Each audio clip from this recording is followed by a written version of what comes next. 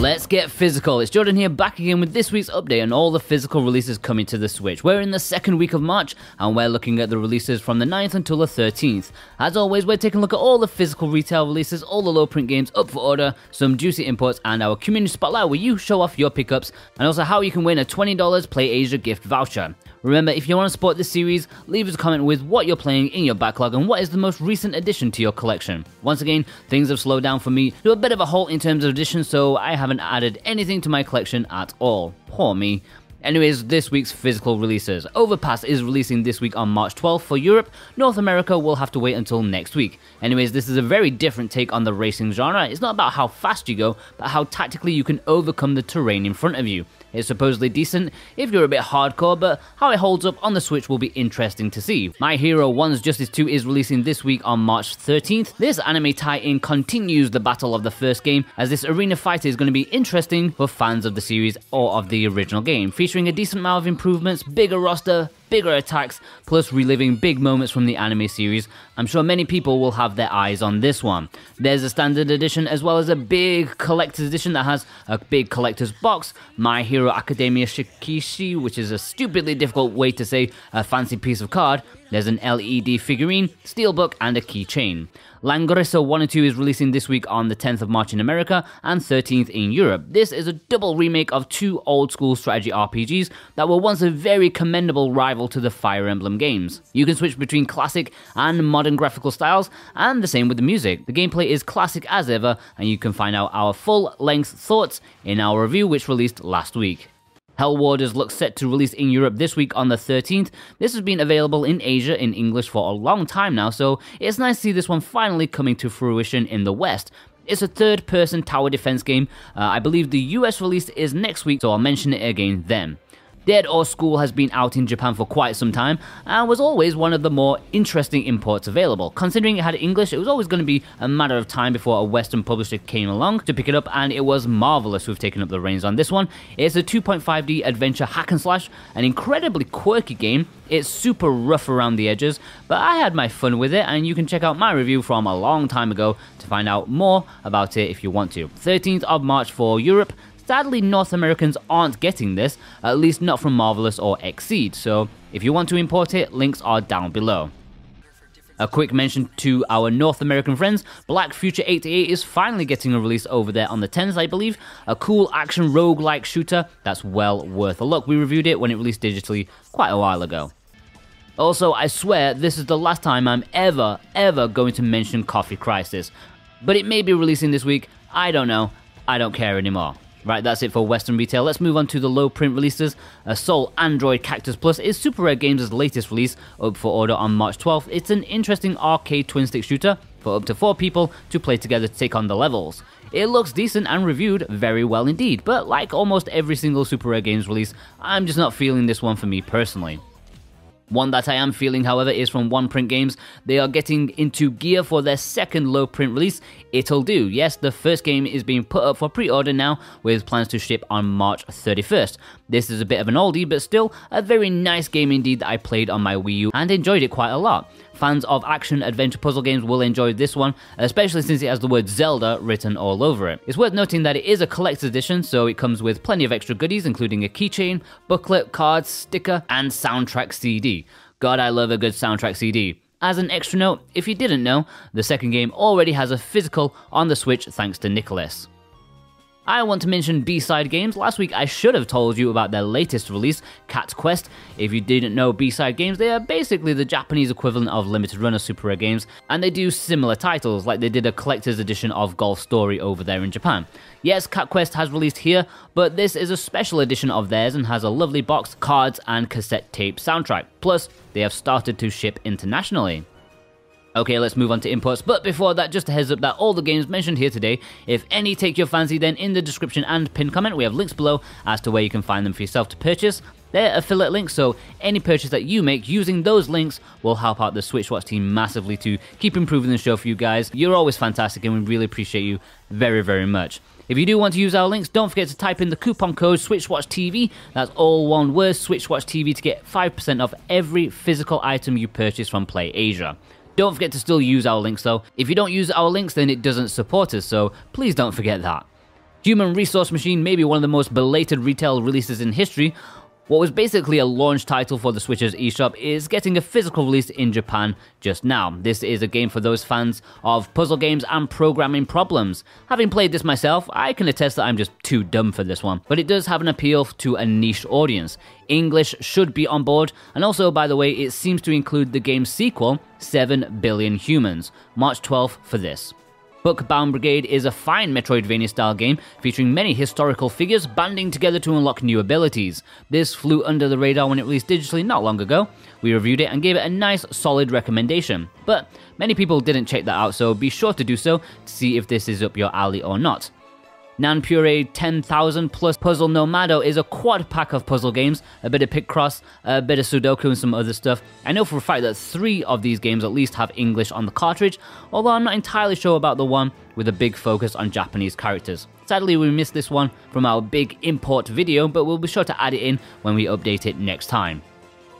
Winning Post 9 2020 is yet another entry in the long running Japanese series. It's part of Koei Tecmo's horse racing game series, sister series to something you may be slightly more familiar with, G1 Jockey, which I remember seeing back in the day on the PS2. Anyways, that series is more about racing, while this one, Winning Post, is a series more about the management side of things. Sadly, as curious as I am about this one, there's no English in this release. Winning Post 9 releases on March 12th. Collar Cross Malice is getting a standard edition as well as a collector's edition this week in Japan. This is a visual novel that I don't believe has English. The collector's edition includes a book of short stories as well as an acrylic stand. I don't know why, but they seem to be becoming more and more popular. Towaware No Palm Refrain Deluxe is an Otomate visual novel that comes in both a standard edition as well as a collector's edition. No English on this as far as I'm aware. Only interesting thing about this one is that it's being published by Capcom, not their usual sort of game. Before we move on to the community spotlight, I just want to point out a video I made last week telling you all the physical games exclusive to Japan or Asia that have English on the cartridge. There are 81 of them. It's a beast of a video and I put a lot of work into it, so do us a favor and give it a watch if you missed it. Alright, the community spotlight where you show off your physicals, plus if you get featured, you'll be in with a chance of winning a $20 Play Asia gift voucher at the end of the month. We had a lot of entries this week, and it was quite a bit of an effort to squeeze in as many people as possible. So, uh, you know, I get kind of tetchy when we reach 15 minutes, guys, okay? So, Marion showed off these additions to the library, three excellent games, all recommended by myself, and I especially love that little notice telling people to buy Hatsune Miku. Do it! It's really good. Watch my review. Retro Games showed off this picture of the goodies given away at select stores for Metro Redux, some nice pin badges, a poster, cards, and also the best thing about this is the Switch Watch mug. I think he's like one of only like three people have bought this, so he is a legend. God of Resin showed off two lovely pictures. Firstly, of this nice eclectic mix, the new Metro, as well as two essential imports, Okami and Super Robot Wars X. And in the second photo, he did a little unboxing of Fate X Link with that nice cloth picture and some extra goodies. Benny Kong showed off these February pickups. I thought you said you're supposed to be slowing down, man. Anyways, these are all excellent releases, limited run. As much as I hate their postage costs, always seem to get the cream of the crop. Save yourself showed off these pickups. Still waiting for opinions on Galaxy, guys. Give me an excuse to add it to my list or not. The other games, well, all extremely solid, quality stuff. Bruno Silva had a couple of pictures, which you can tell he's a man who likes a good JRPG. Can't blame him, all three are quality titles, and I think Atelier Ryza deserves a bit more love.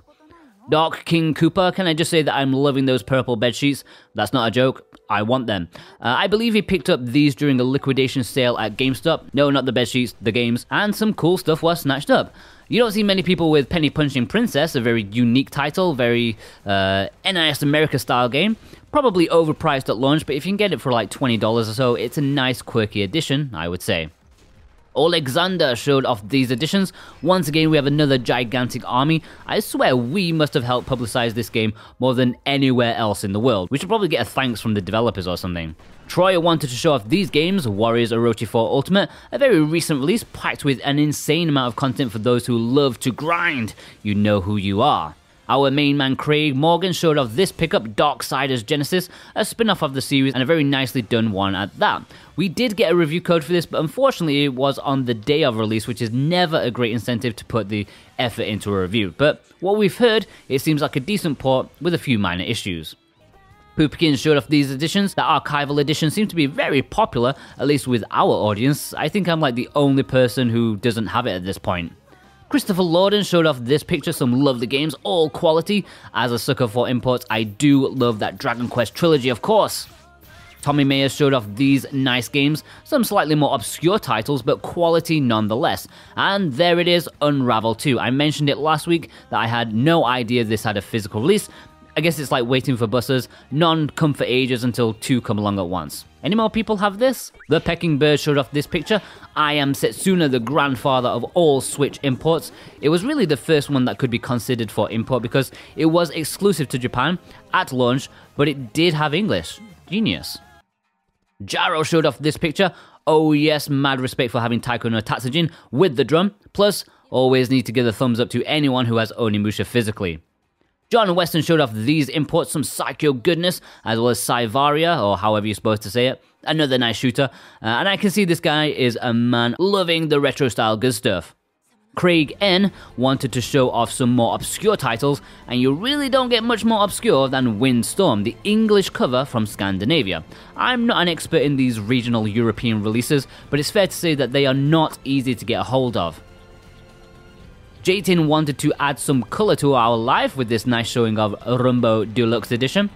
I'm Just a Source, sort of this eye-popping collection, Bridge Constructor Portal, is not one that you see often, published by Game Fairy, a more obscure low-print company. Also, that Mega Man box set makes me weep every time. Dustin showed off these editions, a fan of the odd visual novel I see. Root Letter is a really good one. The humour is a little bit all over the place, but the story fascinated me in the short time that I've played it so far.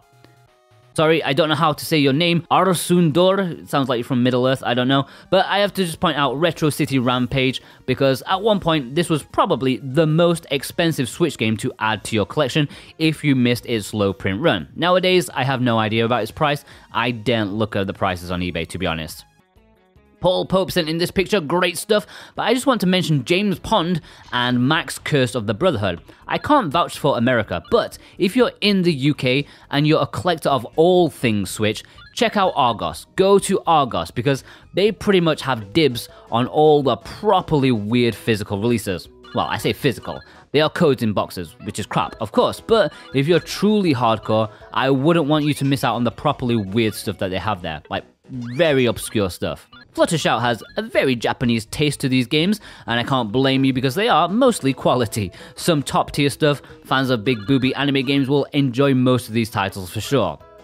Alright, guys, we're running out of time, so let's power through the rest. These couple of pictures from Jonathan, who is a lovely guy, double serving of Ultracore, Blasphemous from Survivor, a nice healthy collection from Nick, Mr. Snake Eater sent in this large collection, excellent, Ninja Saviors from Choco Loco James, a lot of Nicalis goodies from Mansfield Bear, and oh, okay, I think that's it. I think we squeezed everyone in just about. Thanks, ladies and gents. I really appreciate you sending in your pictures. If you want to send in your recent editions, either one game or five games or 20 games, it doesn't matter because it's not a competition, except when it is a competition. Because you can be in with a chance of winning $20 PlayAsia voucher for your next purchase. Don't worry, the winner is chosen at random.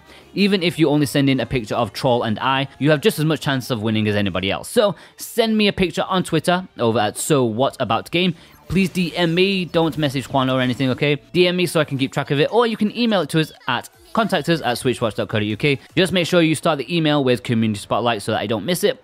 Plus, we have a Discord, which is always a nice way to have a talk with you guys, and you can send your pictures over there. The Discord server link is below. Right, guys, I hope you enjoyed this episode of New Physicals.